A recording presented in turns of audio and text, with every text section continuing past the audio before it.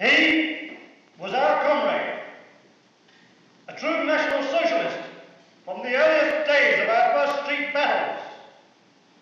He was an unrelenting foe of all Jews, communists, and other antisocial elements.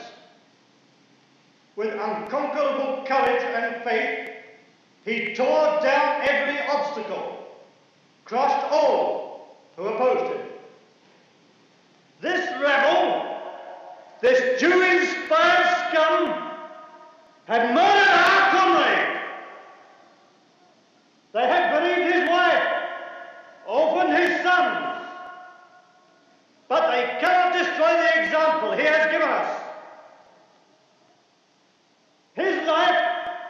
Was an epic of the human will.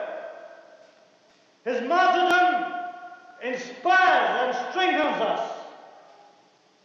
Now we will temper our